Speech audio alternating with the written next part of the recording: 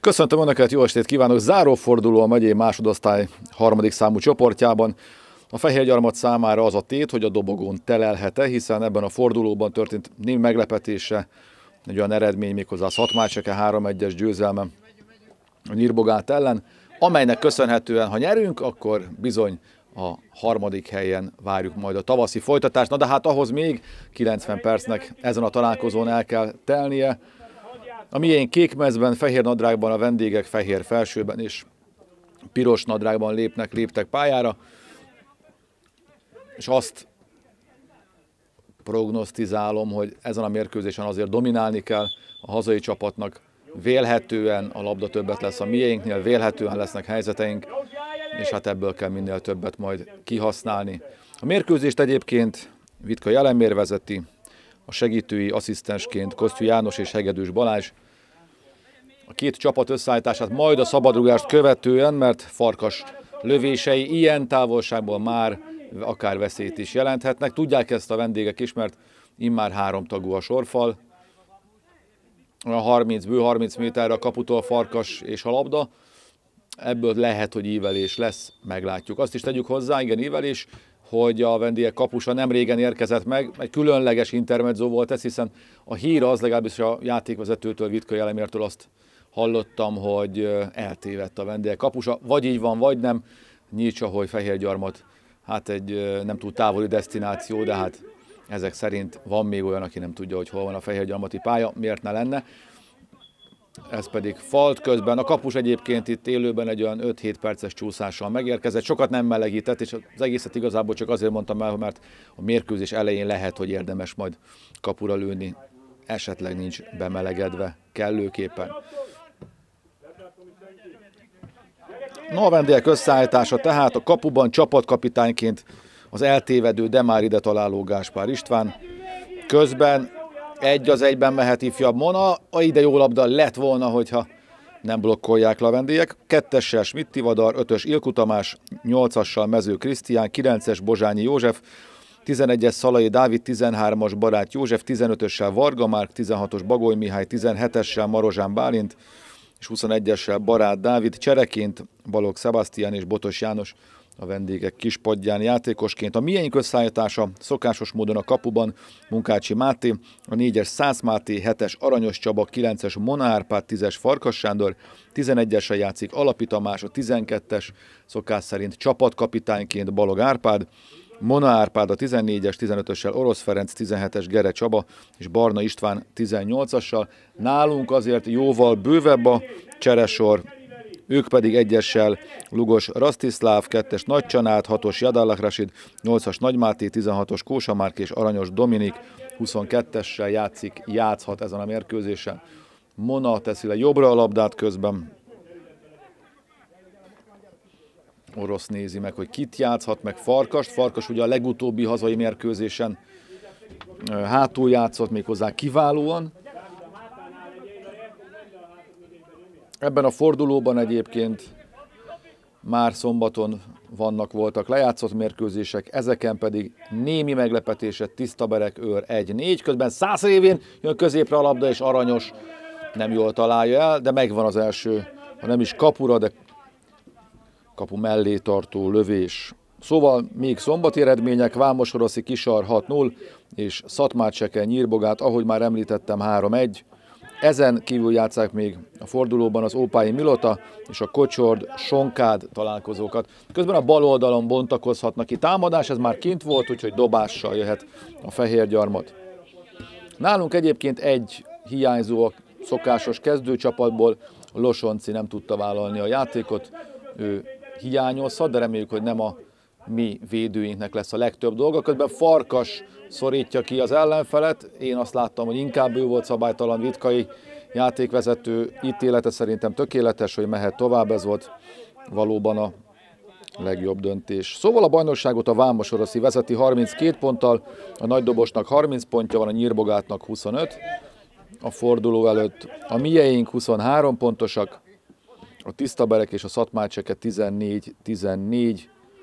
Még a középmezőnyben nagy a tülekedés, hiszen 4-12 pontos csapat is van, ők pedig az Ópályi, Nyírcsaholy, Kocsord és az Őr, 11 pontos a Sonkád, a Kisarnak 8, és a sereghajtó Milotának pedig 5 pontja van. Mindez volt időm és lehetőségem elmondani, a középpályán zajlik a játék. Inkább fehérgyarmati lábakon, de a Nyírcsaholy eddig masszívan állja a sarat. Igaz, hogy még túl sok idő nem telt el a mérkőzésből, aranyos közben a bal szélen, többen is odazártak rá, Barna nem tudott lőni, nem volt a lábán a labda, és nagyon jól blokkolt ezúttal Barna. Ugye Varga Gyula, miénk szakvezetője, el kell mondani, hogy ez az ősz kifejezetten jó volt, nem csak eredmények tekintetében, hanem a játékot nézve, és én legalábbis hazai pályán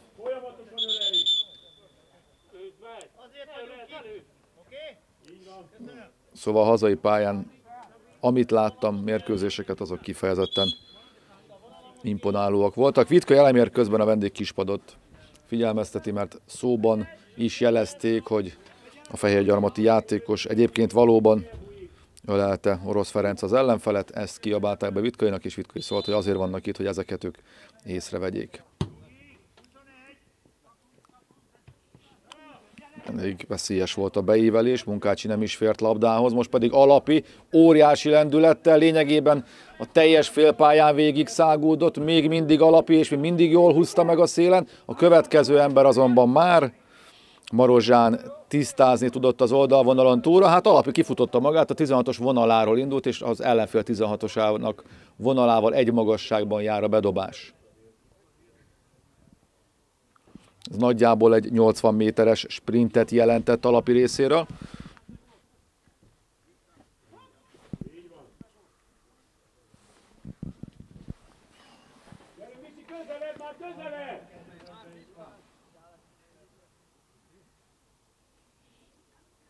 Most kerül vissza a labda.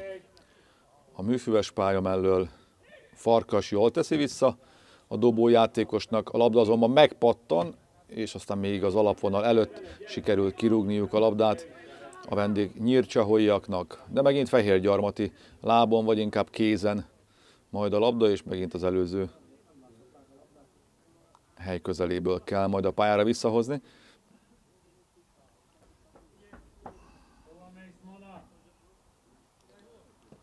Szokása az hülyen, Mona ment föl előre egészen a támadó harmadba, de Szerencsére nem tudtak fordulni egyelőre nyírcsaholjak, tehát nem fog hiányozni Mona. Mire ezt végigmondom, már akár az is lehet, hogy igen, mert a csaholjak vezetnek egy kontrát, viszont megint Alapi szerez labdát nagyszerűen, és teszi tovább Aranyosnak. Aranyos, kicsiben vissza Alapinak. Alapitól a cser is jó, és Bozsányi még testtel sem tudta megállítani. Alapi egy nagyon bátor indítása vállalkozik, és bejön, száztolta meg, és ez pedig már kint az alapvonalon túl. Gyönyörű volt az indítás, azonban 100 picit hosszan tolta meg a labdát. Hát a megye kettőben azért ritkán látunk ilyen lyukrafuttatást, ilyen távolságból, mint amit Alapi most megtett.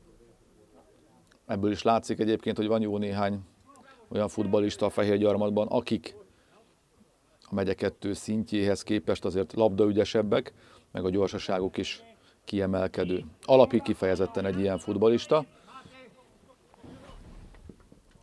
Gere Csaba figyelt az ellenfélre, név szerint barátra, de nem volt rá szükség, hogy beavatkozom, vagy közbeavatkozom, mert Munkácsi együtt élt a játékkal, és fölölelte a labdát magához. A Nyírcsaholy mérkőzés egyébként az előző két forduló nem igazán sikerült, két verességből érkezett a csapat. Ezért is lehet az, hogy a pontjaik száma azért jócskán a miénk mögött van, jó a letett labda, és ez pedig szöglet. Gere próbálta beadni a labdát, és az ő beadását blokkolták, mint egy méterről.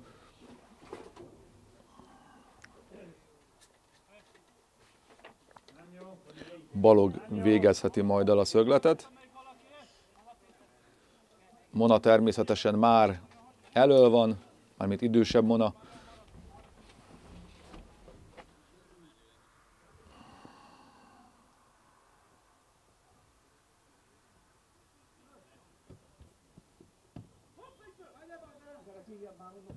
Élesen. Középre a labda, hó, ebből nagyon könnyen lehetett volna öngól. Egyébként nagyon rosszul ért ugyanis a labdához a vendégjátékos.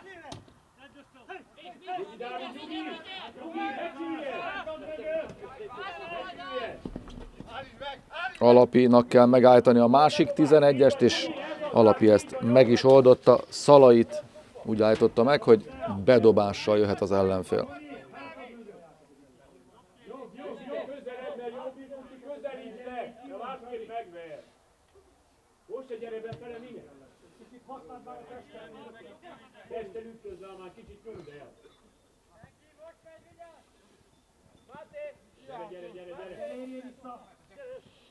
Munkács jól jött ki a kapuból, ahogy láthatták, és már megy is az indítás Mona felé. Próbálja Mona jól kifelszámolni a pattanót, elfejeli a labdát, de aztán már a labda kint az oldalvonalon túl.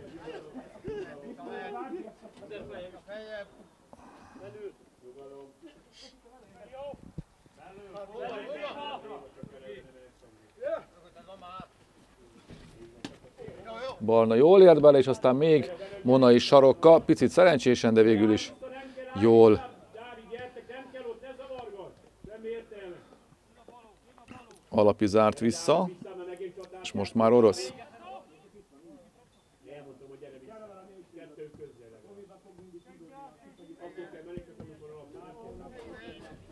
Van a farkas mögé, nem értették meg egymást. Farkas elindult jobbra, a labda viszont rosszul érkezett. Itt viszont nincs les.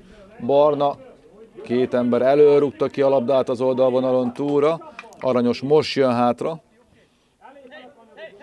És veszi fel az emberét, aki pedig épp az, aki bedobja majd, de nem, mert átadja Ilkunak a dobás lehetőségét. 0-0 a találkozó állása.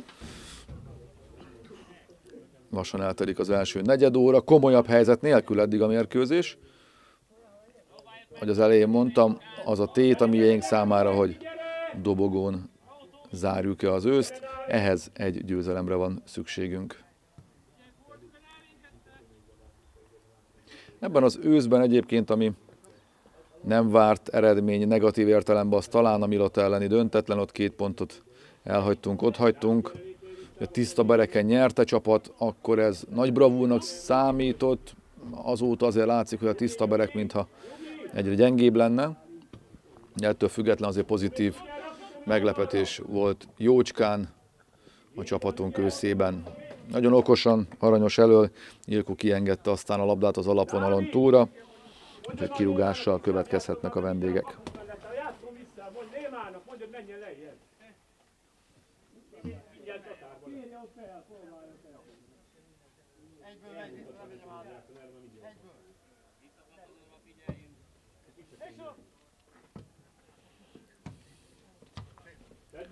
A csaholjak egyenlőre, bár csak két cserével érkeztek, de számra kellemes meglepetés. A játékuk kifejezetten kulturáltan játszik a csaholjai egylet. Hiába a kapus késése, hiába a viszonylag szűk keret ezen a mérkőzésen, de nem lesz ez egy könnyű találkozó. Én legalábbis az eddigiekből ezt szűröm le.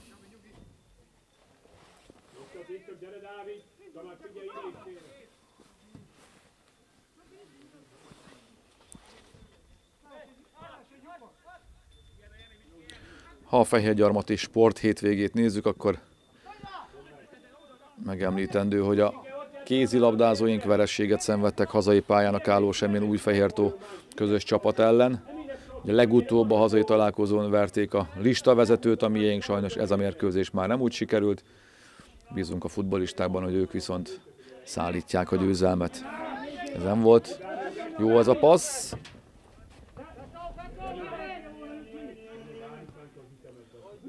orosz haza, Munkácsi megcsinálja a cselt, és teszi vissza oroszhoz. Mivel egyedül indult letámadni a vendégek 21-es a barát Dávid, ezért nem volt komoly esélye. Ugye Munkácsi ronthatta volna el, de ő nem csak kézzel, hanem lábbal is nagyon jó. És azt is láthatják, hogy nagyon szépen visszazár egyébként a csahoi csapat, nem könnyű ellenük helyzetet kialakítani, de talán most száz nagyon, azt akarja, nagyon jó középre labda, de sajnos mégis Mona mögé érkezett.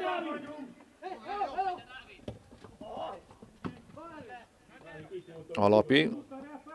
Nem voltak szorosan rajta, úgyhogy át tudta venni a labdát. Farkas.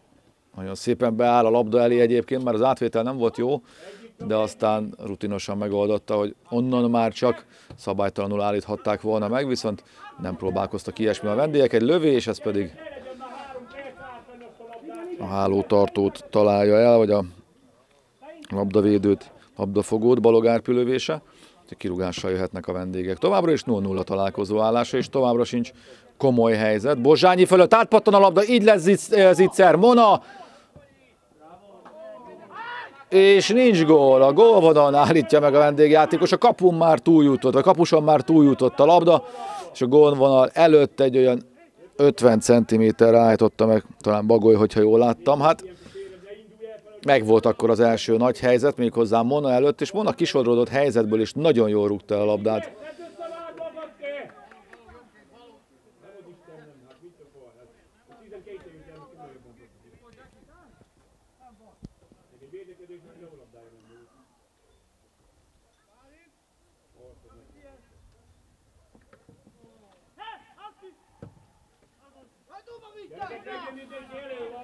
Aranyos, egy az egyben mehet az ellenfél kapujára, ellövi, megpattan és kapufa. Na hát itt egy percen belül volt két nagy helyzet a miénk előtt, aranyos, most laposan középre, és aztán valahogy Bozsányéhoz eljut, de ez sem jó. Ez is lövő helyzet lassan, Balog, Mona, Mona lövi rá, és ez is mellé. Hát most tényleg másfél percen belül három ordító helyzet a fehér gyarmat előtt. Ugye egyszer a kapuson már túljutott a labda, aztán egy kapufa, most pedig éppen, hogy mellé. Az előző negyed órában nagyon helyzetekről nem beszélhetünk, nem beszélhettünk, most azonban tényleg háromszor is betalálhatott volna haza együttes, de mindez feltételes mód marad a gól nélküli döntetlen egyenlőre. Balog.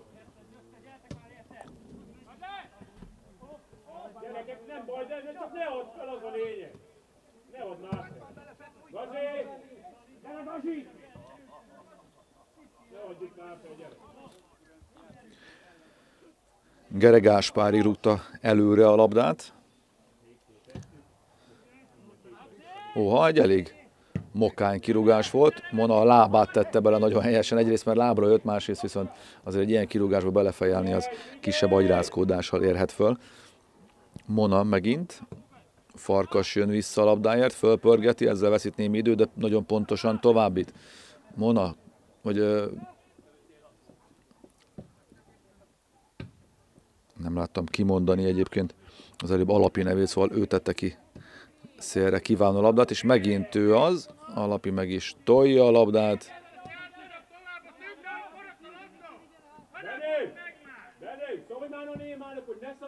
Nagyon jó átadás a hosszú oldalra, aranyos a labdával, még mindig aranyos, és ez meg már nem volt pontos, mondom én, de mégis Farkas előtt a lehetőség, és mekkora gól. Azt a betyár mindenit. Ballal, hatalmas lövés Farkas Sándor. Egyébként Pogbától, és ezzel a góllal vezet a Fehér Gyarmat 1-0-ra.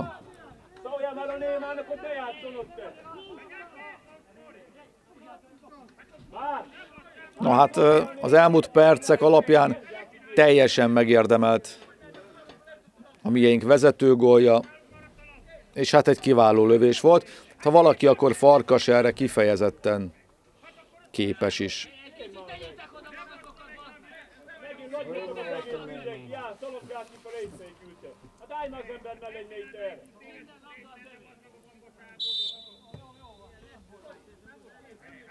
Hát ez a elég gyufáért, egy jó hülye Hosszú indítás, Mona ugrik az ellenfél mögül, ezen mezőt meg is zavarta, és már oroszi a labda. Ugye ha az eredmények pont kom lenne, és élő eredményt néznénk, akkor jelen pillanatban már a dobogón a fehérgyarmati csapat. A Vámos Oroszi és Nagy Dobos mögött. Az előző éveket nézve ez tényleg egy kiváló ősz és kiváló eredmények, de ami ennél is fontosabb, az a mutatott játék. Alapi, visszahúzni sem tudták. Barna, aranyos, őt sem tudták megállítani. Szabálytalanul sem kiválóan veszi át Aranyos ezt a labdát, és még mindig előtte marad Aranyos, Zicser, és eltalálja a kapus lábát. Ezt azért mondom, mert igazából meg sem mozdult a hálóőr. Aranyos az visszapattant azonban a labda, alapi. És Farkas előtt marad, jóval erősebb volt ellenfelénél, és most kiemelik a csahoiak. Látható, hogy a fehér gyarmat egy vagy két fokozattal magasabb, magasabb sebességre kapcsolt. Nem csak a gól miatt mondom ezt, hanem a játék képe is ezt mutatja, mert a Csaholy azért most már nem nagyon jut át a fehérgyarmati térfélre, legalábbis labdával. Kevéssé.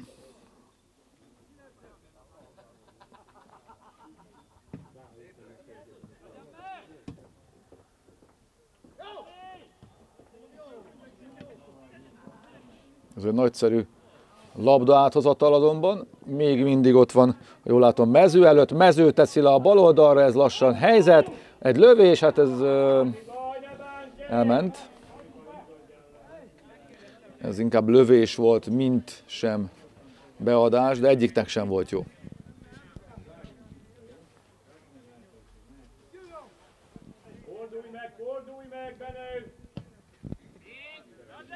Aranyos, nagyon jó labda volt.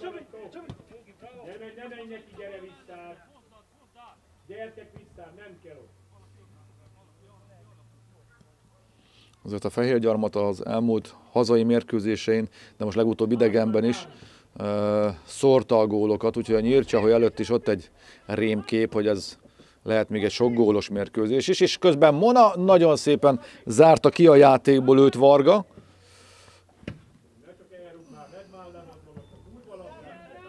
Bozsányi próbálja indítani a bal oldalon csapatását, de a miénk nagyon szépen hozzá ki két esernyővel a labdát.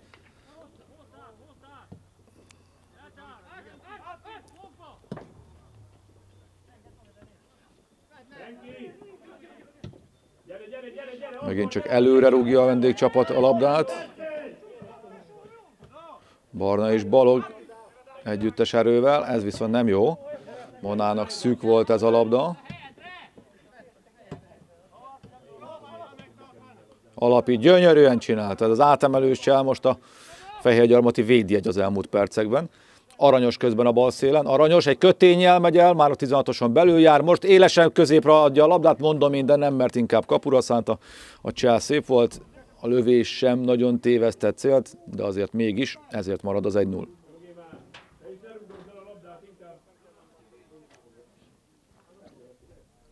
Akár aranyos, akár mona, elől a miénknél, de a farkast is ide számíthatjuk. Sok zavart okoz a nyílcsaholyaknak.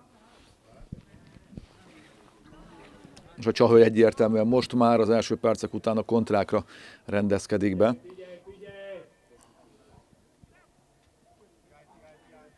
Még helyzetig nem jutottak a vendégek,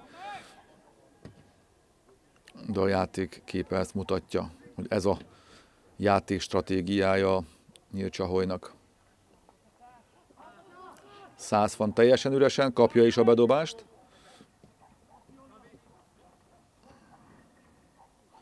Ez egy rossz megoldás volt. Bozsányi próbálja kihozni a labdát. Most nem elrúgja, mint az előbb. Kicsit rátekeredett a labdára, és aztán jól oldja meg, mert Csahoi bedobás következhet.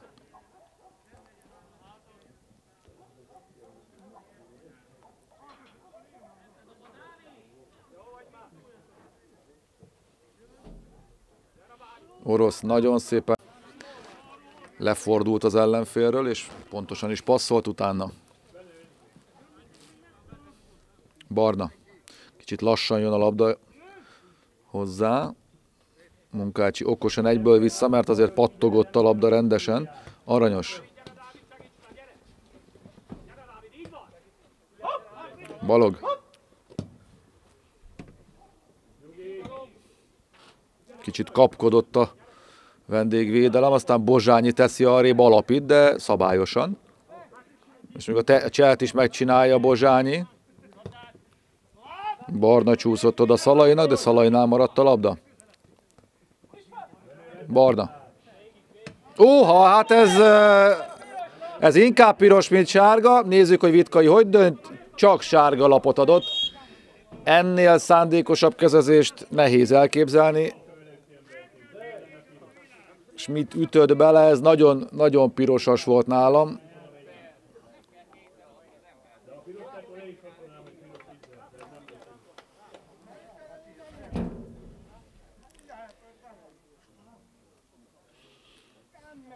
Elég véleményes volt, úgy döntött Vitkai, hogy inkább sárga, mint piros. Egyébként abszolút van érve, vagy van jó érve a sárga sárgalap mellett, mert nem, hát szerintem nem utolsó ember volt egyébként a vendégek kettese Schmidt, úgyhogy szerintem Vitkai döntése jó volt egyébként. Egy csúsztatás, ami után szöglet következhet.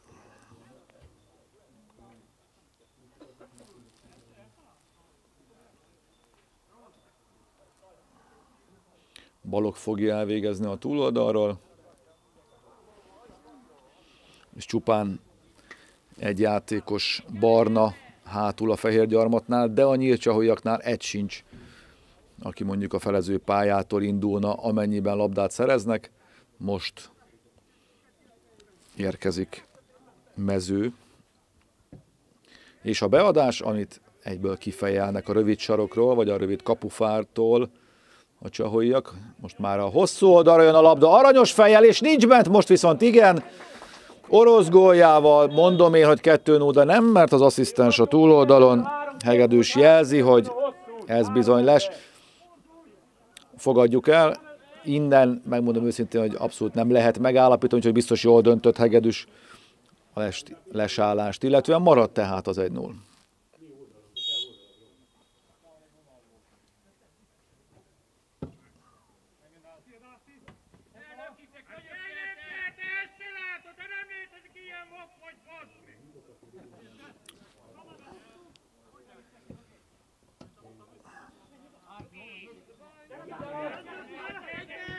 Nagyon szépen Mona megszerzi a labdát, aranyos van üresen a bal oldalon. Mona csinál egy csát, most aranyos az, így aranyos elől elvitt egy embert. Aranyos az alapvonalnál, beteszi középre, és most sincs gól. Hát a fehér gyarmat, hogy csak egy núra vezet azért a szerencsének, ez 11-es, azt gondolom, hogy nem lehet vita. Nem is egy, hanem két kézzel rántotta vissza a vendégjátékos százt. Szerintem ez akár sárga is lehet, sőt, nem csak lehet, hanem a játékvezető, aki egyébként szerintem eddig abszolút tökéletesen vezeti a mérkőzést. Én, én egyenlőre nulla hibát vélek felfedezni, mind a játékvezetőnél, mind az asszisztenseknél. Szerintem ez pont 11-es és sárga lap volt. Most pedig jöhet a második fehérgyarmati gól, amennyiben Farkas is úgy gondolja, meg hát persze Gáspár István a vendégek hálóőre. Bizakodó a vendég kispad, mondták, hogy megvan az Gazsi. No lássuk. Vitkai most ad jelet a lövéshez, és Farkas a jobb alsóba lövi a labdát, még egy kis flickflakkot is beletett ugye a kitámasztással. Ezzel 2-0 a miénk javára.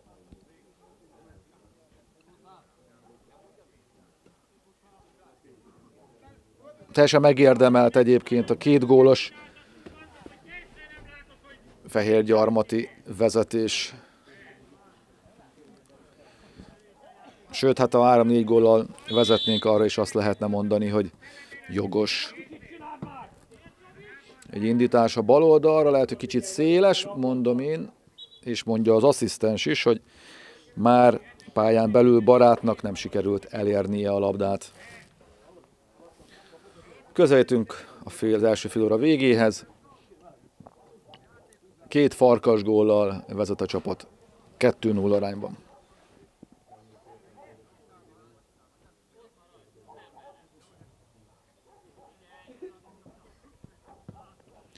Egyébként Farkas a forduló előtt 11 gólos volt, akárcsak Aranyos Csaba, és jól emlékszem, még Mona is 11 góllal rendelkezett, így most Farkas a leggólerősebb játékos a miénknél. Egyébként Dávid Robert vezeti a góllövő listát 31 góllal a Vámosorosz játékos, a nagy dobosi Hadadi Christopher 23 gólos, Lengyel Marcel pedig 13 a tisztaberektől, szóval hozzájuk jött föl a mi csapatunk. Hát ez is sárga lesz, biztos, hogy kellett ez. Gere Csaba sárgulba a miénk részéről.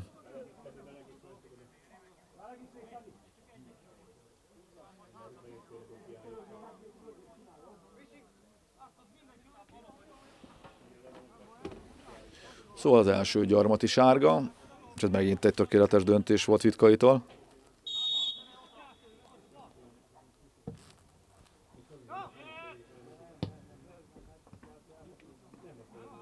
Igen, egy pici fal, de hát a pici falt is falt. Alapi volt szabálytalan, szabadrugással jöhetnek a csahoiak.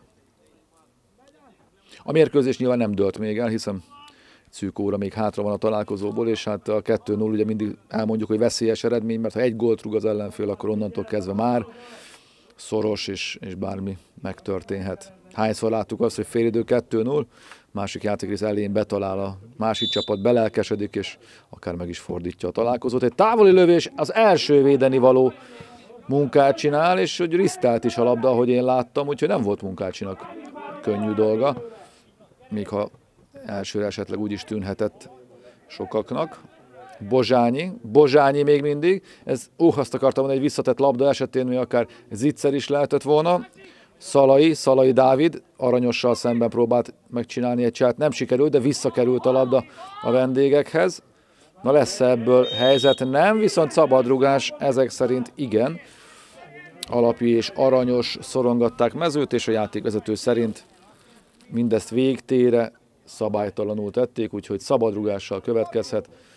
A vendégcsapat Vitkai mutatja a játékvezető, hogy Sipszó után lehet majd ellőni a labdát. Három tagú egyelőre a sorfal a miénknél, és pont mezőlő, aki az imént veszélyeztette a fehérgyarmati kaput. Már nem három, hanem négy tagú a sorfal, idősebb Mona is beáll, nyilván nem a szélre, mert nem ő a legmagasabb játékos a falban, sőt.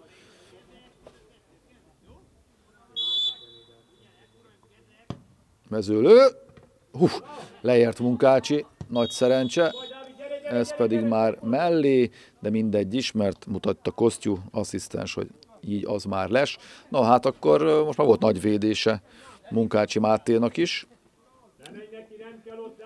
De mivel ez sikerült, így marad a 2-0 a miénk javára.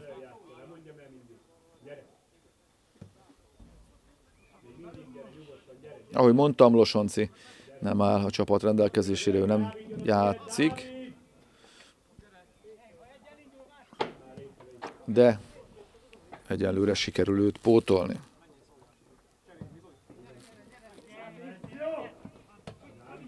Mona nagyon szépen olvasta a játékot és szerezte meg a labdát. Közben majd egyébként cserélni fognak a vendégek. Balog Sebastian érkezik majd a pályára. Ez közben Monának egy remek labda, Mona megtolja. Az azonban már ott a végén hosszú volt, és Gáspár István nagyon jól érkezett a kapuból. Tehát Bagoly Mihály helyett érkezik majd Balog Sebastian. Orosz nagyon magasra ugrott, nagyon szépen, és először fejjel, majd lábbal is tisztázott. Mona egy nagyon szép csiát mutatott be, volt benne kockázat, de jól csinálta. Balog. Farkas, tökéletes labdát kap, az átvétel is tökéletes, Farkas még mindig, és nincs ott a Mester 3-as, nincs ott a kapuban, tehát a gól.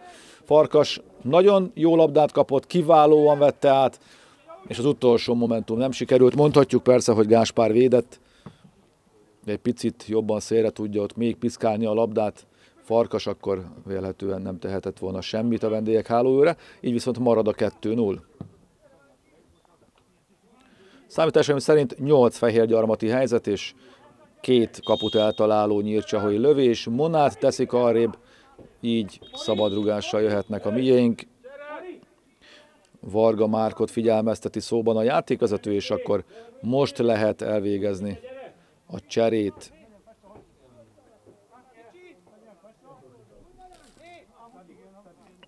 Bagoljon le a pályáról, egyenlőre azt nézem, hogy látja-e, most már igen, hogy nem ő folytatja, hanem ahogy elmondtam a helyén Balog Sebastian négyessel, tehát 16-os négyes ez a csere.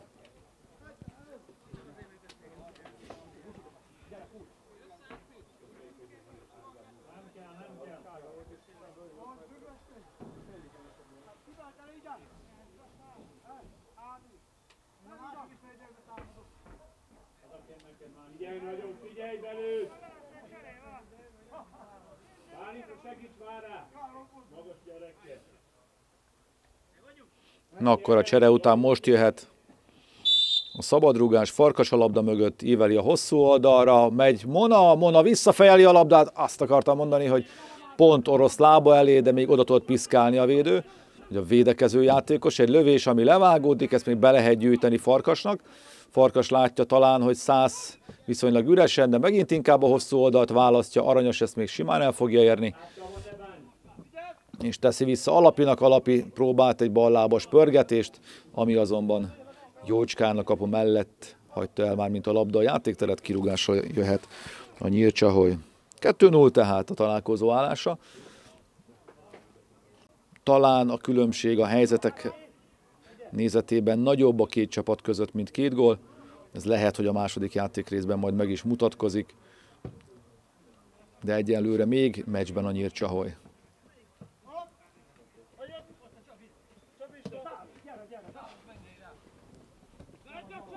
Aranyos. Teszi be középre a labdát, kapja vissza Aranyos. Alapi.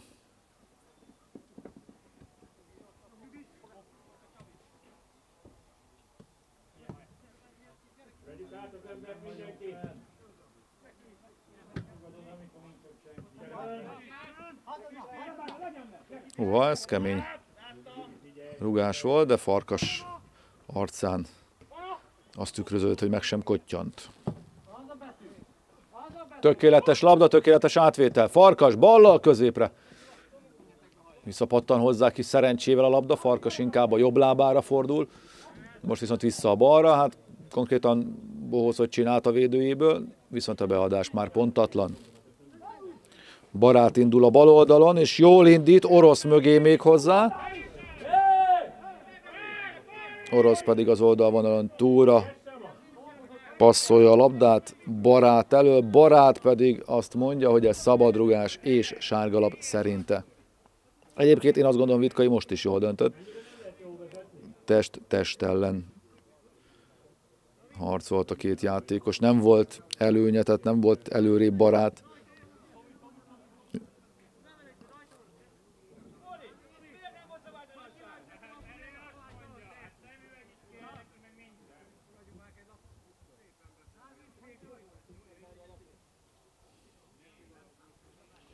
Akkor a játékvezető most magyarázza el Barát Dávidnak, hogy talán nem kell kommentálni a döntéseit.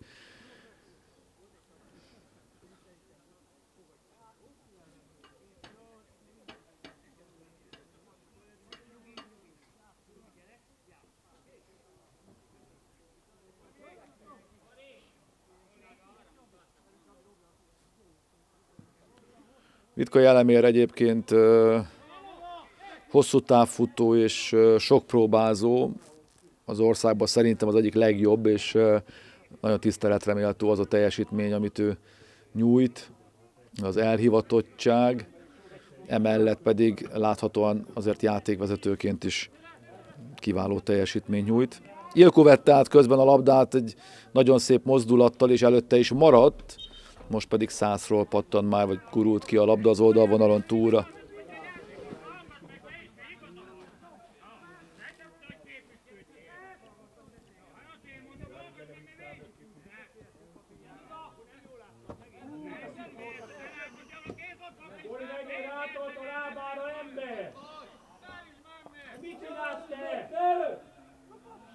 Farkas megszerzi a labdát, miközben lent van egy nyírcsahoi játékos.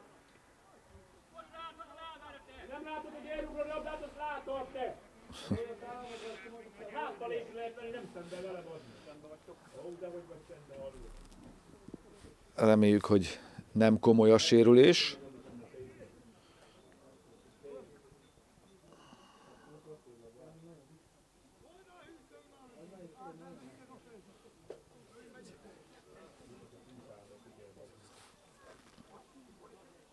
Nem kell külső segítség egyelőre úgy tűnik. Az persze kérdés, hogy egyből tudja folytatni a játékot. Schmidt az egyébként, Schmidt Tivadar.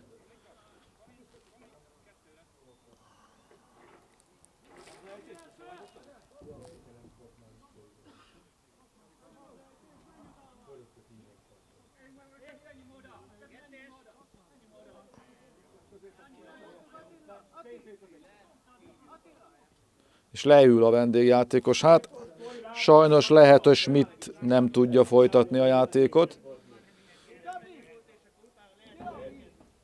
Jön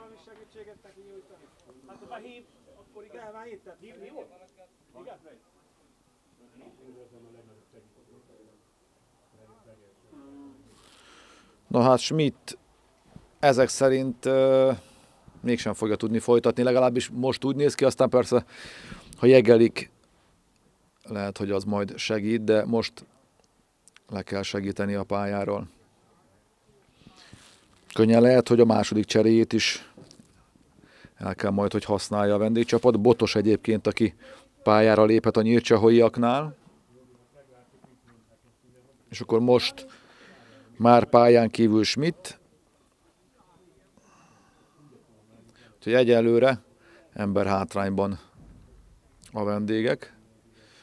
Most történik a fagyasztás, és akkor lassan jöhet a labdaejtés is.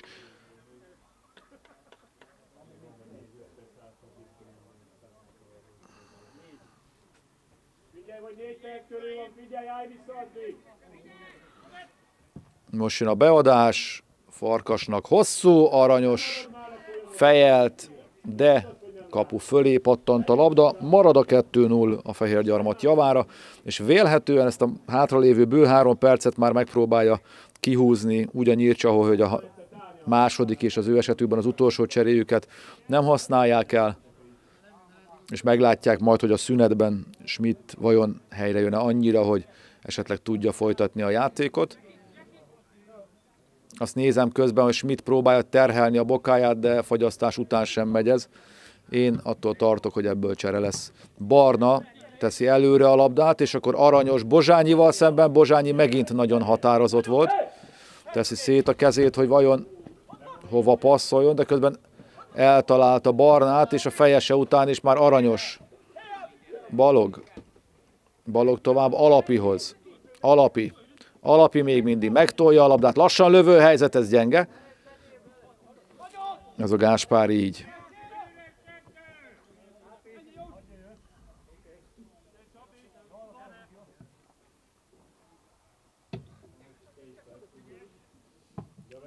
Hú, hát ez egy elég hanyag megoldás volt.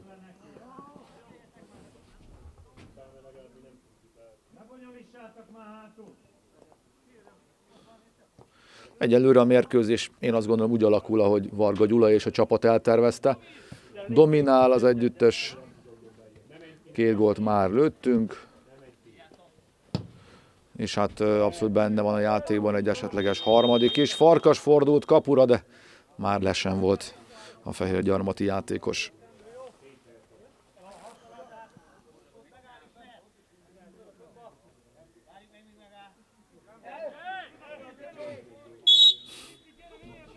Bozsányi.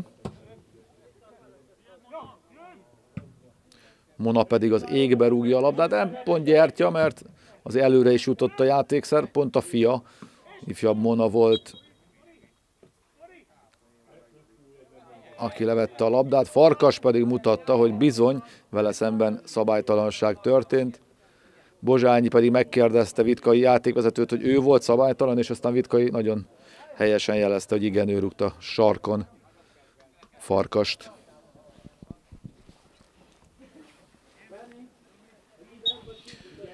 Kérdés, hogy lesz-e hosszabbítás, ugye egy sérülés volt, amiatt tehet rá plusz időt a játékvezető, vagy lehet oka, de persze kérdés, hogy hogy dönt majd, ez pillanatokon belül kiderül vélhetően. Balok közben nem jutott el a labda alapihoz, most viszont rosszul passzolnak a vendégek, és ez egy kiváló labda aranyosnak. Én azt gondolom nem volt les, az asszisztens sem mutatja. Egy visszagurítás, monalő, és egy óriási védés, mert kifelé kanyarodott a labda, ez is jó vitt, visszatett labda, farkaslő, ez is levágódik. Hát azt gondolom, hogy jól jön a szünet a nyírcsaholynak, és akkor most nézzük, hogy Vitkai mutat-e bármit, ami a hosszabbítást, vagy esetleges hosszabbítást illeti, egyenlőre nem. Hát igazából a sérülésen kívül nem állt a játék.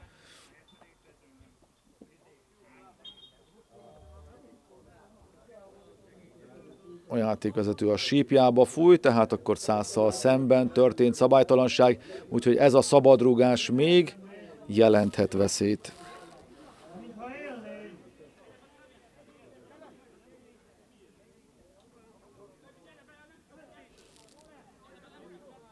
Gere Csaba megy előre. Vitka jelzi, hogy Sipszó után jöhet a szabadrúgás, ezt meg is várja Farkas. Nagyon jól élesen jön a labda a rövid sarok irányába, de aztán nem ér, vagy nem ér kékmezest. Egy perc, ha jól látom a hosszabbítás.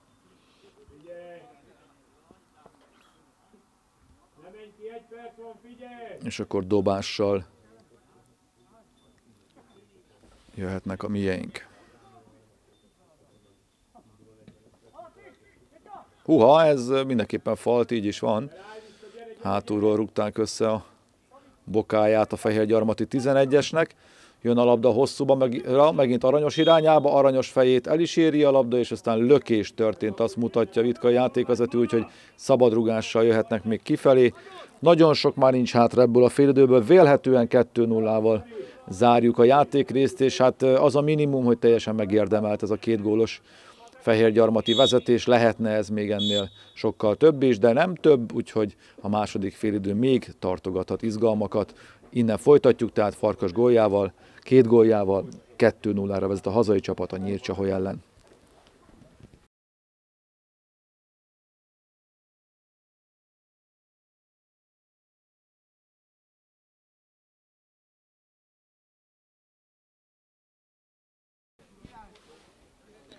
'Tisztelt nézőink, következhet tehát a második játékrész. Vitka jelemér egyeztet még az asszisztensekkel, és akkor most útjára indulhat a labda.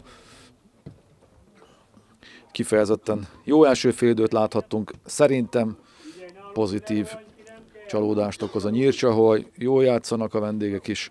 A két fehér gyarmati gól az teljesen megérdemelt volt. Sőt, kérdés az, hogy jön-e még egy harmadik és eldőle idejekorán a találkozó, vagy pedig marad még izgalom a továbbiakra is. Az első félidőben elmondtam, de aki akkor nem tartott volna velünk, jelzem, hogy a fehér gyarmat számára a tét, hogy dobogón tele le a csapat. Egy kiváló ősz, amit magunkénak tudhatunk. És közben volt egy csere a mieinknél, Kósa Márk lépett pályára, éppen ő tette Barnához tovább a labdát és talán, talán aranyos nem látom, az lenne a logika. Nem, aranyos pályán van. Hogy időközben kiderül, kiderítem, hogy ki helyet lépett pályára. A vendégeknél viszont a kettes a játszó Schmidt maradt a pályán, Balog ellen Bozsányi szerelt, most pedig már Barna tovább, megint Kósa felé, de nem volt pontos a felpörgetett labda.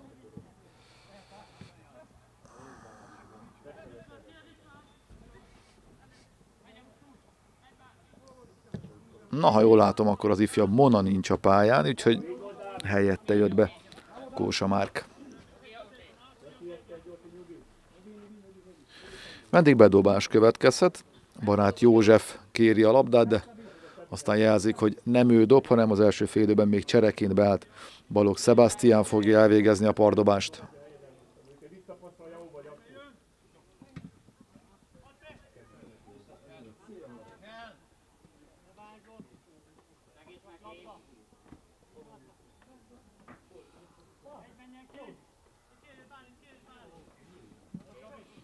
Uff, testtel volt. Gere volt ezek szerint szabálytalan, Vitkai szerint mondjuk ez elég véleményes volt, úgyhogy szabadrugás.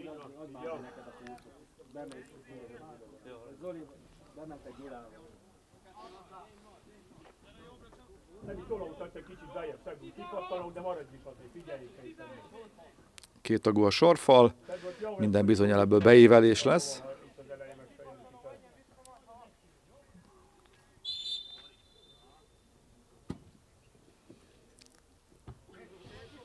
Jól láttam, farkas fejelte ki a labdát.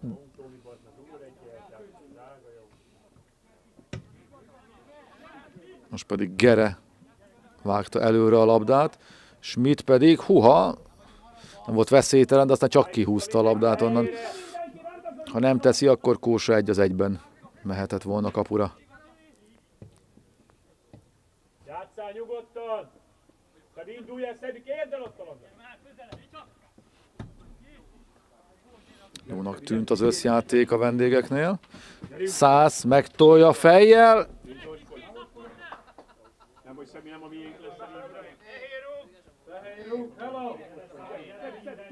Na hát ezzel most meglepett Vitkai, hogy Csahoyi szabadrugás. Balog vágta előre a labdát, most pedig már orosz, ő pedig kihúzza. Balog két fehérmezes között vette át, és meg is szerezték a vendégek. Ez hosszú, szerintem. Az bizony. Kirúgás nekünk. Annyival melegítettem. Dominik, gyerünk!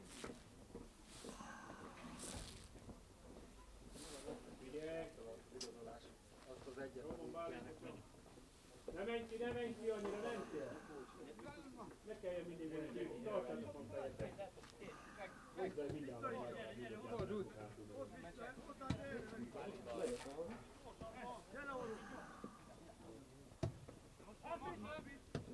Ott nem kell benne, azt akar, hogy kiindul, nem kell. Hm,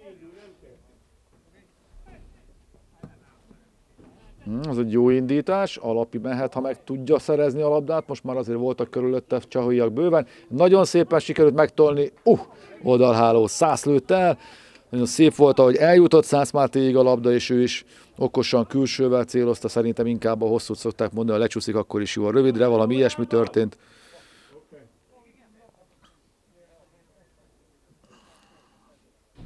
Marad a 2-0.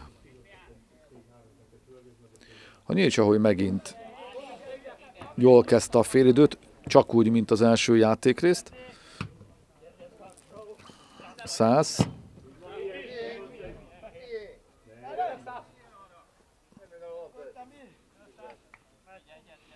Mi dobhatunk? Gere. Orosz mutatja magát, hogy itt van üresen. Most kapja, de aztán lábbal. Orosz. Megindul. Jól teszi tovább. Balog pedig a biztosat választja.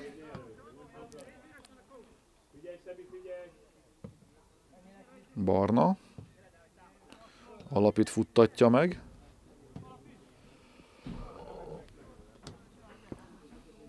Mona az utolsó ember.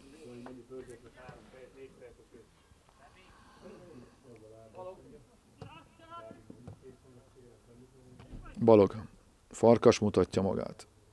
De inkább Kósa kapja nagyon pontosan az átadást a bal oldalon, és indul Barna mellette. Kósa inkább befelé húz. Kósa messziről, és védi Gáspár. De ez is egy kapura lövés volt.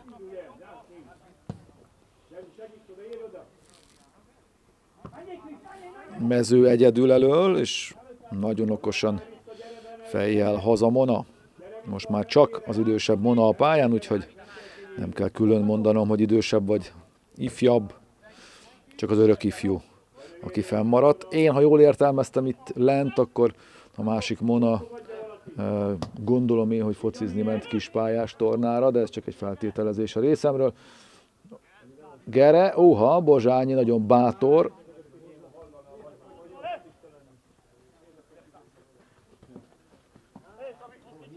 Nem baj, nem baj, csinál, segíts rá!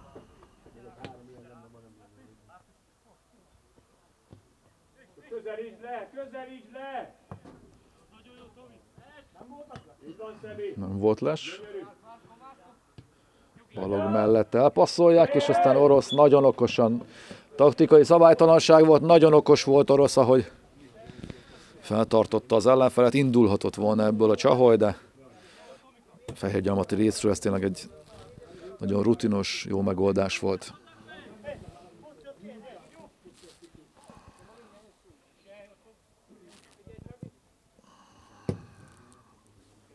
Varga előre, Mona pedig át is tudja még venni.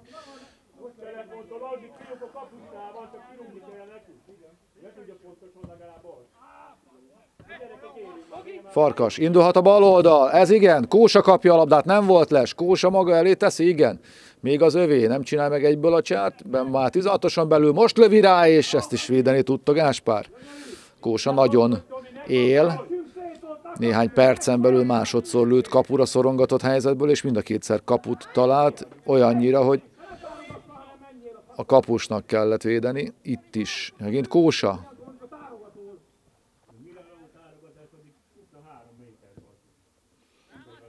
Balog, Balog. Most teszi át a hosszúra a labdát, de jön Gáspár, és nem engedi, hogy százhoz eljusson a labda. Farkasnak belül, ez nagyon magas volt, jön orosz. Nagyon szépen pályán tartotta a labdát. És akkor így a miénk, én is azt gondolom, az asszisztens nem.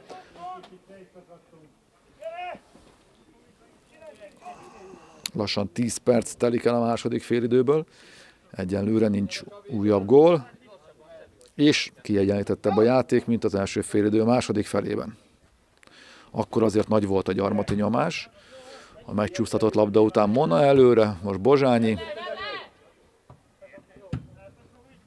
Orosz, ebből még lehet zavart okozni.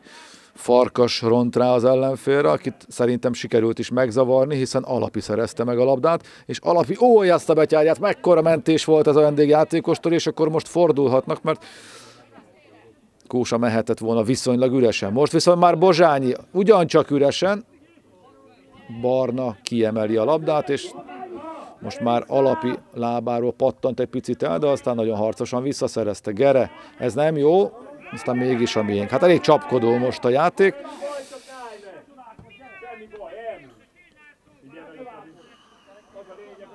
Kósa és Farkas. Ez szűk lesz. Schmidt. Farkas és Bozsányi. Nyugi, Szebi, nyugi! Szebi, ne kapod el, Paulus is, hogy nyugalom most már. A nehezét megcsináltam, már ne szorod el. Ez Kósának hosszú, úgyhogy vagy kézzel, vagy lábbal, akkor inkább lábbal jöhet az ellenfél. Nagyon kulturáltan játszik a vendégcsapat. Megbecsülik a labdát most a csahoiak. Alapi.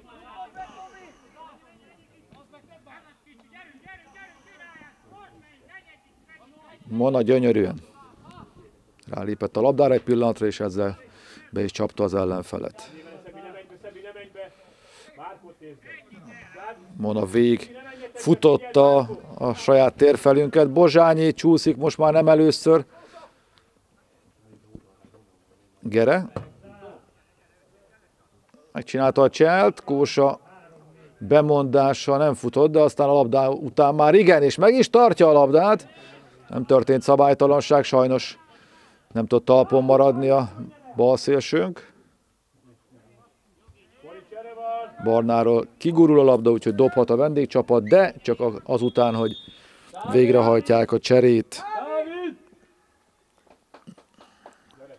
11-es Kori jön le, 11 jön le. És akkor Szalai helyett jön be Botos, ezek szerint Schmidt Tivadar a pályán marad.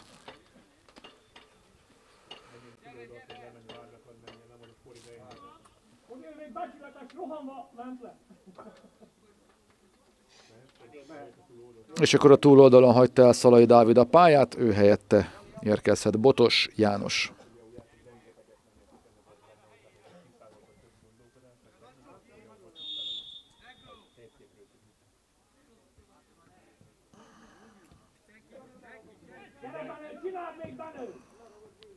És eljut Farkashoz a labda. Farkas megcsinálja a cselt, teljes most már mondom én, így aztán különösen aranyos, és marad a 2-0. Nem jutott lövésig a a fehér gyarmat. Hát a nehezét megcsinálta Farkas szerintem, de aztán nagyon jól visszazártak a csahoiak, aztán. Gerét véletlenül fejbe kólintotta barát Dávid. Nagyon szimpatikusan elnézést is kért. Gyere, Józsi, gyere! Olekó Márkó váltja. Semmi baj. Balog és orosz. Orosz jelzi, hogy valaki segítsen. Száz. Balog mehet tovább. A túloldalon van üres ember. Uha! És akkor jó volt a letámadás, úgy tűnik az ellenféltől, mert most mehetnek a bal oldalon. Alapi próbál visszazárni. Alapi testtel, aztán lábbal is. Alapi megállítja az ellenfelet, viszont most jön be középre a labda, és kapufa! A legnagyobb csahoi helyzet. És aztán még egy lövés, messze fölé. Barát próbálkozott másodszor. Na hát valóban a legnagyobb helyzet. Vagy a legveszélyesebb, nem a legnagyobb, de a legveszélyesebb, hiszen kapufáról jött ki a labda, de marad a 2 0 Talán először volt valóban sikeres a nyílcsaholyak letámadása egyébként a mérkőzésen.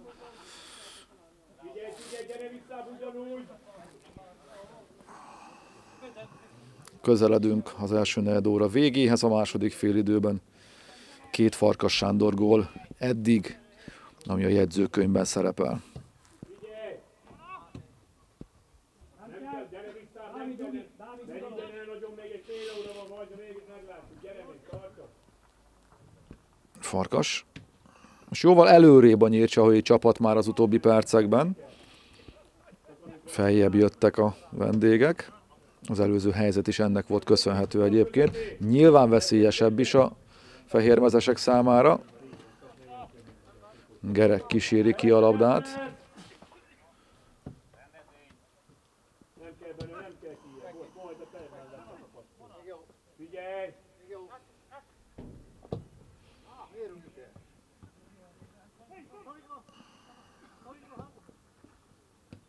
Farkas. Húha, ez nem volt jó, és akkor most a vendégek 8-as a mező, mehet egy az egyben. Orosz sprintel vissza Barna mellett, üres ember a kö- középen, és inkább ellövi. Óriási zicserben érkezhetett volna barát.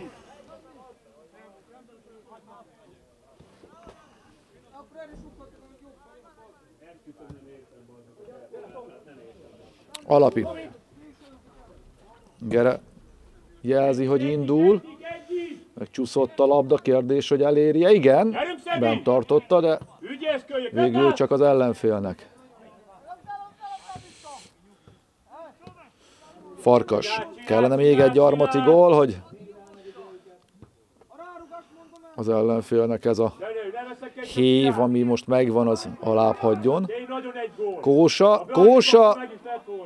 Mindegy kirúgja, elmondtam. Ritka helyzet, ez kevés lesz, akkor használjuk már ki. alapi, alapi. Teszi tovább Farkasnak, Farkas. Húha, elcsúszott a védő, úgyhogy ez most teljesen üresen a gerély. Gere, és nem sikerült pontosan becenterezni a labdát. Gyerünk! Nem baj, jól akartak, semmi baj, jó, nem számoltak. Semmi baj, jó jöttünk. Igazadban egy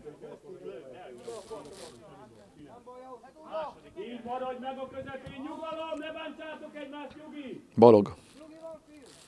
Minden esetre a Nyílcsahogy nem adja föl, az látszik, és most próbálna, én azt hiszem, hogy közelebb kerülni a fehér gyarmathoz. Egy kritikus időszak a miénk számára a mérkőzésen, ezt ebből jól kellene kijönni, ezt jól kellene megcsinálni. Megint Gere, felé jön az indítás. Óha, ez kis ilyen beakadt a léc alá, jól védett Gáspár. Hát kell is, kell is, hogy oda tudjunk menni a vendég kapu elé, mert most azért a Nyírcsa, hogy némileg átvette a játék irányítását, és a korábbiaknál jóval többet veszélyeztet a vendégcsapat.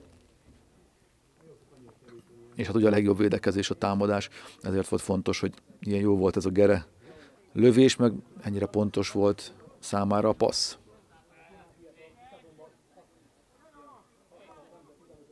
Figyelj, maradj meg mellette!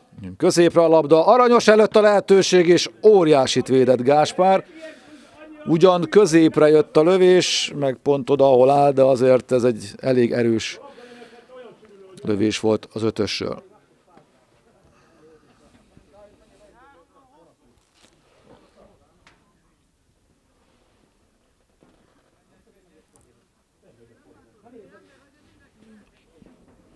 Balog adja majd be a labdát, vagy adhatja be a labdát.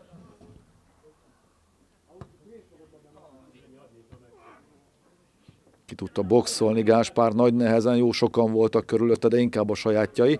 És itt pedig egymásra rúgjuk a labdát, úgyhogy megint indulhatnak a csahoiak. Üres ember a jobb oldalon, még hozzá Ilku. Ilku még megtartja a vonal előtt a labdát. Jön be középre, ez viszont hosszú lesz.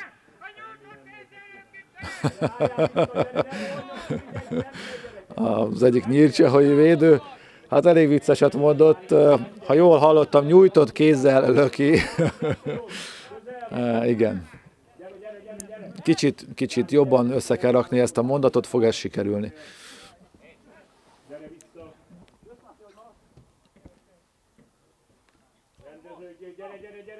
Mona. Balog.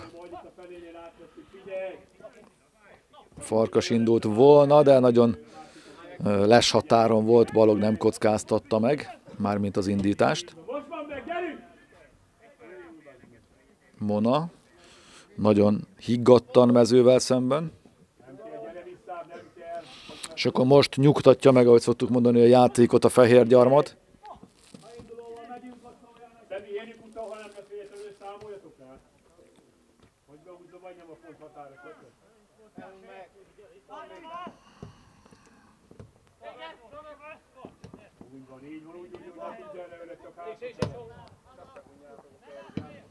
El! Kuha, ez szerintem falt, de szerintem mégsem. Nem monolábát érte Vitkai szerint ez a becsúszás, orosz hátra. Munkácsi pedig szépen vissza a mezőnybe. Farkas, nagyon szép. Or, vagy a Gere üresen a jobb oldalon, de Kósa is tisztán a balon. Ez így bedobás, Ilkuról pattant a vonalon túra a labda.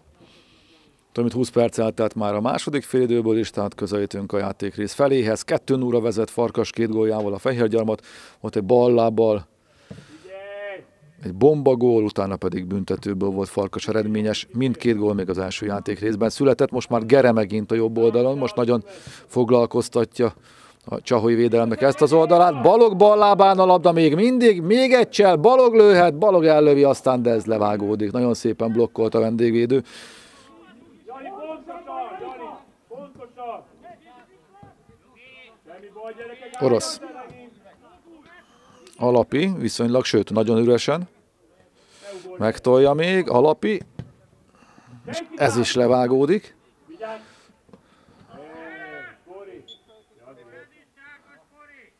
Alapi volt szabálytalan barát Dáviddal szemben. Jön a Márkó elvégzi, hogy jön a Márkó elvégzi! Márkó küld el onnan. Tudsz meg egy kicsit, mert sok van még.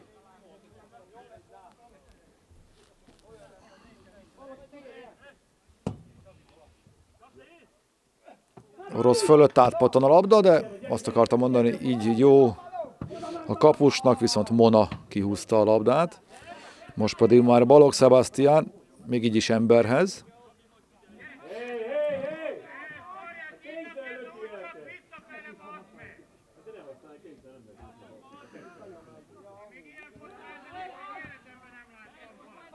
Mona.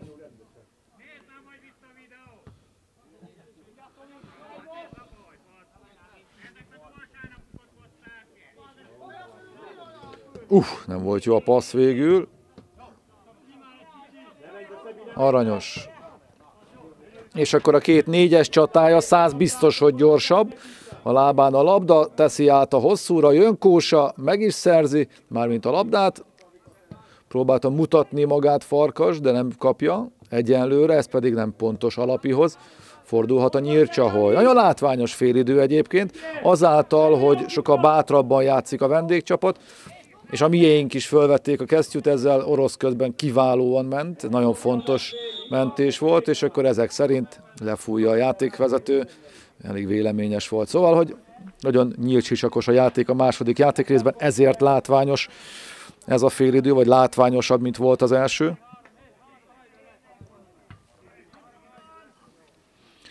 A szabadrúgás az szerintem egy nagyon bő 30 méter, mármint a távolság. ha bár a játékvezető egy olyan 20-21 méterre állítja a sorfalat a kaputól, akkor ön 30 méterre a kaputól a labda. Három tagú a sorfal.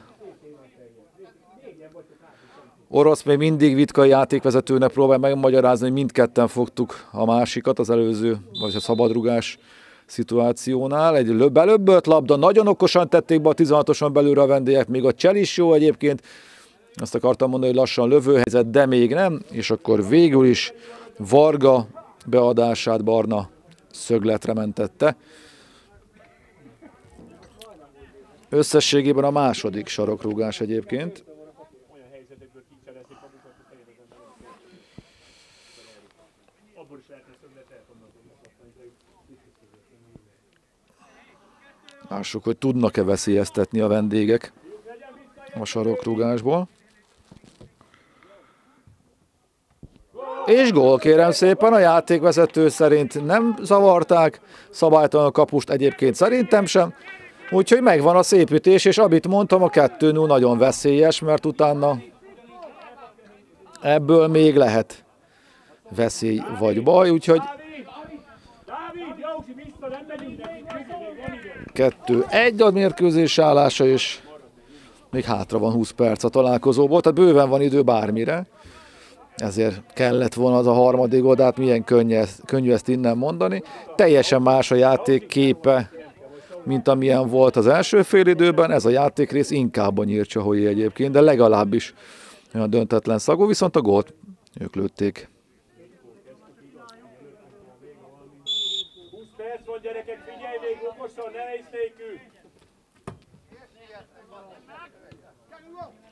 Farkas előre, picit vaktában, száz felé próbálta eljutatni a labdát, most meg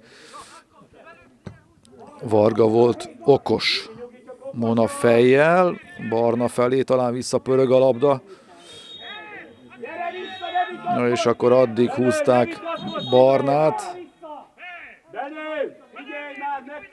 ameddig csak megfújta a játékvezető.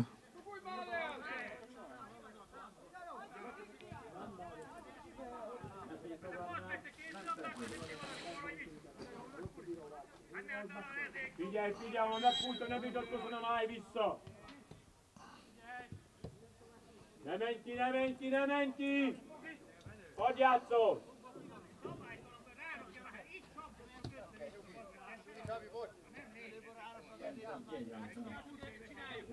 Vagy a Alapi. fejénél fogad csak! Beindul arra, figyelj a beindulásra! Jani közel! Most közelíts, most már le! Szemi bal közel! Nyugi, Benő, nyugi, ott nem kell, hadd játszom, van még idő. Most hadd játszom. Ez jó, hogy nem tud vele mit csinálni.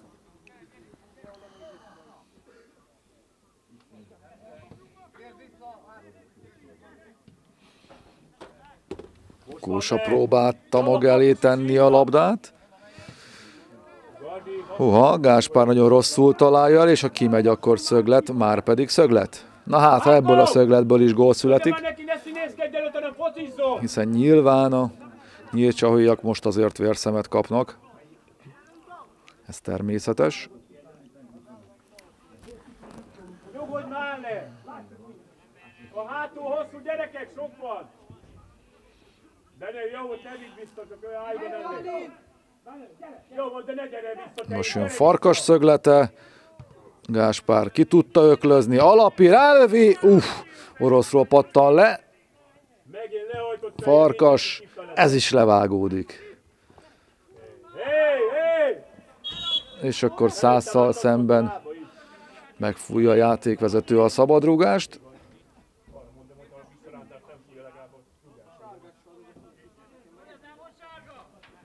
Nyugi gyerekek, nyugalom, nyugalom, van idő, ne rohanj bele, okosan! Okosan játszol, nem kell rohanni.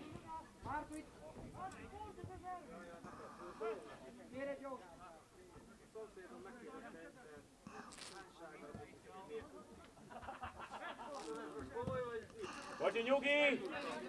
Gyere, kérje, szedj, húzódj, szedj! Vissza a labda Gáspárhoz. Itt a Józsika! Itt a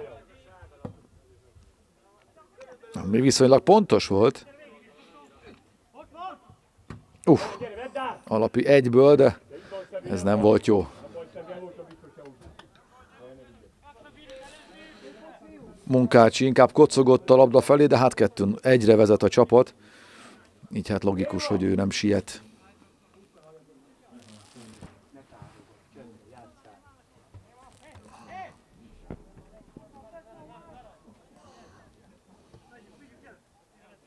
Mona mondja orosznak, hogy vigyük, gyere. Valóban két magabiztos és labdabiztos futbolistáról van szó. Nagy értékük a csapatnak ők is. Szólnak a vendég kispadról, hogy hat passzolgassanak a miénk ott hátul. 15 van, még 16, nyugi. Ne jöjjenek előre a csahoiak.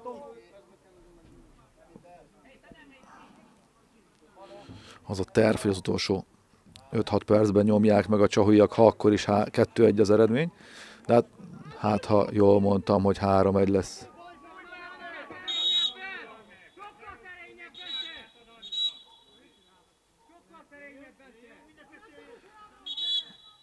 Barna és Ilku szólalkoztak össze.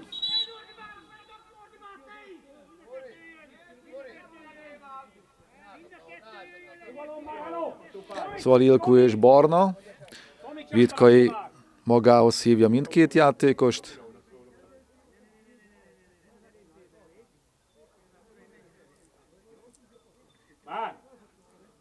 És mindkét játékos kap egy-egy sárgalapot, Ilku és Barna is.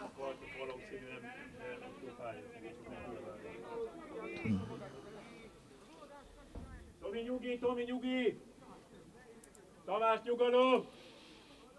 Tamás kikadj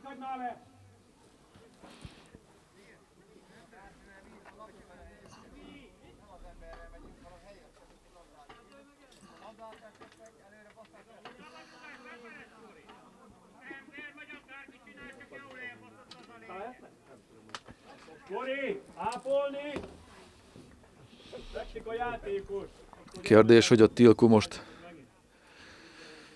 kér ápolást vagy sem. A játékvezető azt jelzi a számára, hogy hagyja el a pályát, vagy vigyék le a pályáról, attól függ, hogy mennyire nagy a baj, hogy van-e egyáltalán. Hát úgy tűnik, hogy el fogja hagyni talán a játékteret. Hát most jött a segítség is vízzel, vízzel és talán jéggel. Janika! Állj vissza a helyére, míg ápolják! Tehát amíg az ápolás zajlik, addig el fogják foglalni nyilván a helyét. Ezek szerint labdaejtés lesz, és nem szabadrugás.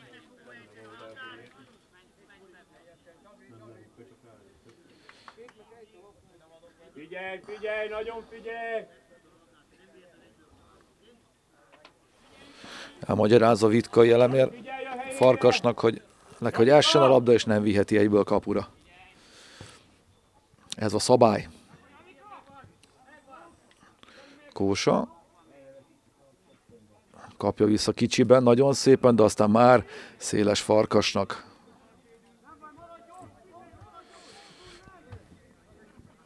Ilku Tamás még mindig pályán kívül. Azért reméljük, hogy tudja majd folytatni a vendégek ötöse. Nem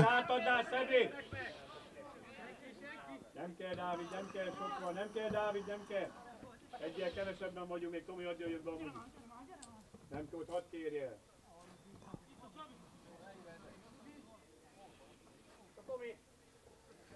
Jósika, ne vigyen be, gyere Józsa. Gere van üresen a jobb oldalon. Mona nagyon pontosan, és akkor így bedobás. Utána rúgja el.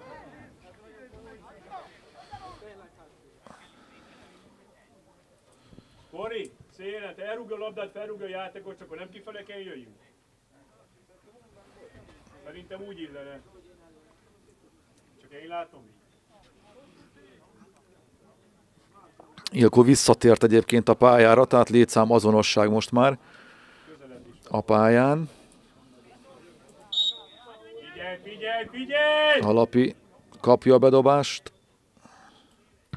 Gere élesen középre. Húha, eléggé meglepte a vendégjátékost. Hát nem nagyon tudom, hogy ebben vajon mi volt a szabálytalan.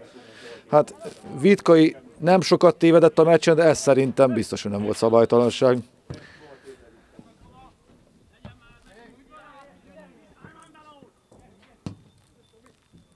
Kicsit kapkodó megoldás, szásznak akár meg is lehet.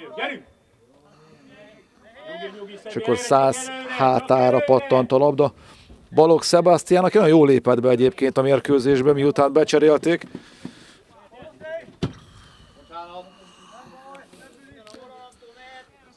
Dobhat a vendégcsapat.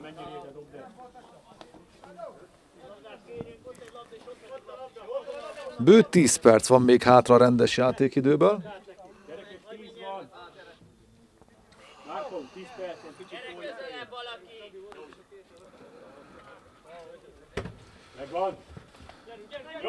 Aranyos próbálja lesprintelni az ellenfelét, és meg is teszi, ez pedig hátrányból indult. Aranyos jól látja meg, balogott balog lábáról viszont elpörög, elpördül a labda. Gere, Gere nagyon jól játszik ebben a félidőben. Gere még mindig kapura lövi, levágódik, ha kimegy, akkor szöglet, és kimegy. Az ötödik fehér gyarmati sarokrúgás következhet. A nyírcsa, hogy a maga szögletéből ugye a legutóbb gólt szerzett, azzal lett kettő egy a találkozó állása. Dávidot kívül, kipattanolott, jó, Dávid, Dávidot kívül, kettő. Legyen Mona is. Tivadar, ott egy Mona is, vedd át. Figyelj! Balog adja be erről az oldalról természetesen a szögletet. Jön a rövidre, de kicsúsztatja, hogy kifejelik a csahoiak. Kósa most már. Farkashoz. Farkas. Ez nem jó a bal oldalra. Csinál! Gyerünk, Dávid! Gyere, gyere, gyere, gyere! Gyere, tolódjál feljebb most már! Gyere feljebb, Orosz. gyere feljebb, nyolc Balog. gyere feljebb! Nagyon éles labda, de Gere át tudta venni, vagy le tudta venni. Alapi mutatja magát, egy megkerülős csel. Oda rúgnak Gerének, de pályán marad. Mármint, hogy nem esik el, úgy értettem. És egy öngól, te jó ég! Talán mit volt, ha jól láttam, akinek a lábáról a saját kapujába pördült a labda. Ezzel 3-1 a fehér gyarmat javára. Én azt gondolom azáltal, hogy a találkozóban, mint a 8 perc van hátra, én azt gondolom, hogy az a mérkőzés ezzel eldőlt. Tömeges csere a fehér gyarmatnál.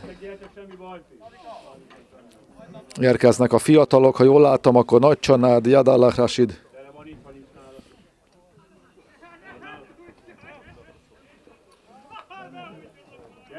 Gere mutatja, hogy az előző utánrugásnál megfájdult a sarka. És akkor Nagy Máté is érkezhet, most jelzi szóban Varga Gyula.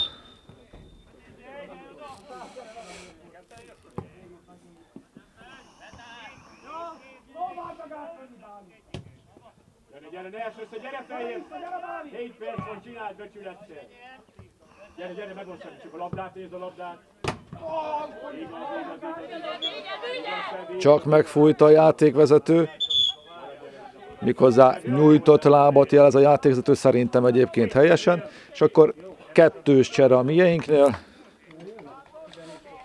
Gere Csaba az egyik, aki lejön, és Aranyos Csaba a másik.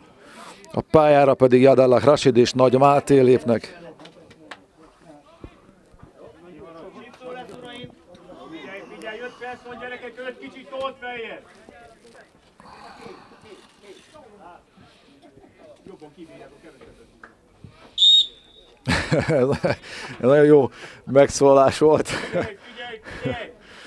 Érezte a vendég kispad, hogy 5 perc van hátra, Vitka elemér helyesbített, hogy 7, és aztán szóltak, hogy hát jobban bírják, hogyha azt gondolják, hogy kevesebb. Milyen igaz, és milyen taktikus. Farkas, alapi.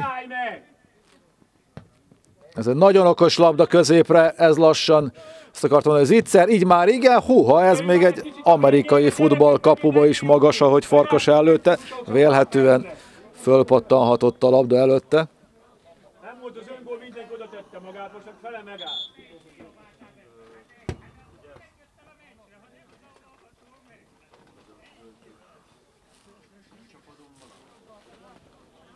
Figyelj, figyelj, figyelj!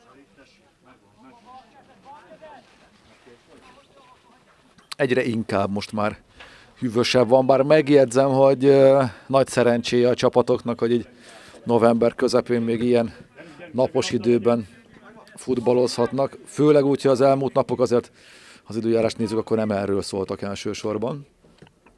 Úgyhogy az utolsó hazai mérkőzésünk még egy abszolút elviselhető futballidőben zajlik. Farkas teszi le közben mellé, de saját magának alapi ütőjét szedik fel, mondaná kékkorongban. Balog egyből tovább, megint csak Farkashoz.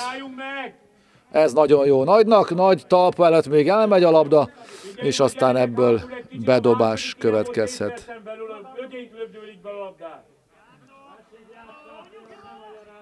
Jadallak Rashid és Schmidt szólalkoznak össze. Schmidt ugye elég sűrű meccset tudhat magáénak, megsérült, pályán maradt, öngolt vétett, most pedig vitába keveredett. Aranyos Dominik fog jelentkezni, hogy ő bizony beállna. Uff, Szász Máté lábáról gurul ki végül a labda. Bozsányi nem tudta továbbítani a labdát, orosz be középre. Húha, ez így jó. Na nézzük, Kósa, majd hogy nem elrúgták a lábát, Kósa ballal viszont kapu fölé. És akkor szöglet következhet. Vagy szöglet, kirúgás következhet és csere. És akkor nem csak Aranyos Dominik, hanem Nagy Csanád is pályára áll, állhat majd.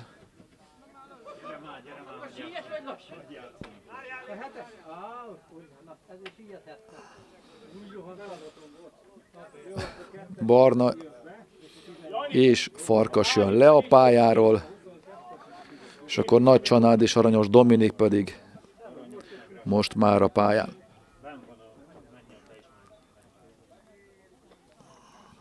Három egy tehát a találkozó állása.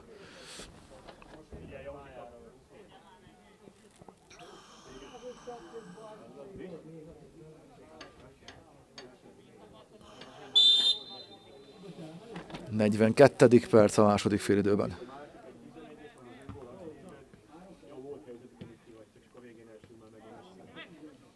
Segíts már vissza, segíts már vissza, két perc van! Ne állj meg már! Jadaklach Rashid, szerelte kifelé. Varga Márk, Szász,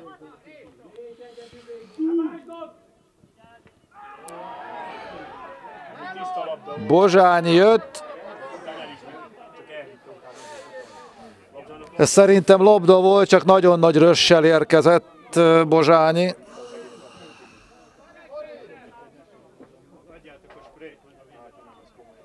Szász lent, hát bízunk benne, hogy nem lesz nagy baj. Nem nézett ki jól, én azt gondolom nem volt szabálytalanság, legalábbis innen nem tűnt annak. Ettől még nagyon fájhatott Szász Máténak.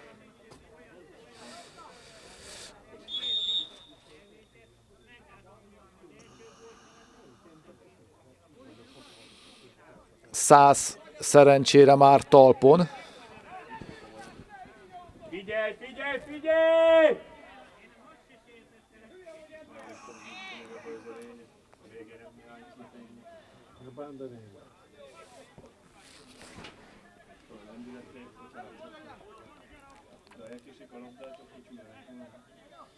Figyelj!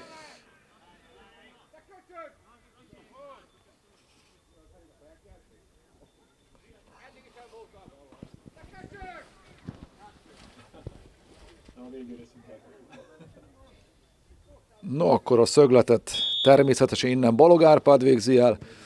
Jön a rövid oldaljátok inkább középre, viszont kapus támadás miatt kifelé szabadrugás jelzi a játékvezető. Kettő perc van hátra a rendes játékidőből.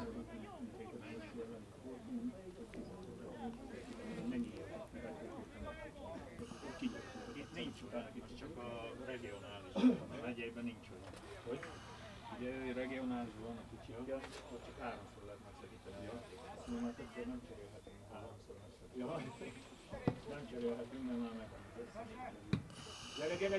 Alapi. Nagyon üresen volt nagy, rárugták a labdát végül is a vendégjátékos barát kezére.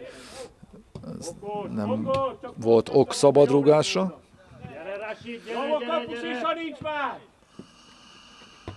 Nagy fejjel előre még hozzá, Rashid felé.